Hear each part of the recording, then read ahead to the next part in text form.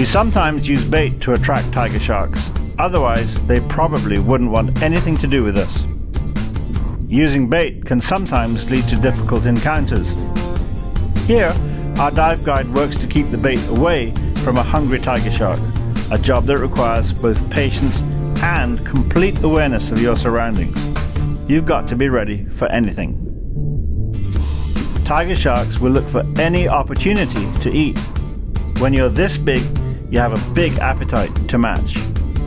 The tiger shark is one of the largest sharks. They can grow to an average size of between 10 and 14 feet. Some say that the tiger shark can grow to a length of more than 20 feet. The reality is that when you're in the water with a tiger shark, they all seem pretty large.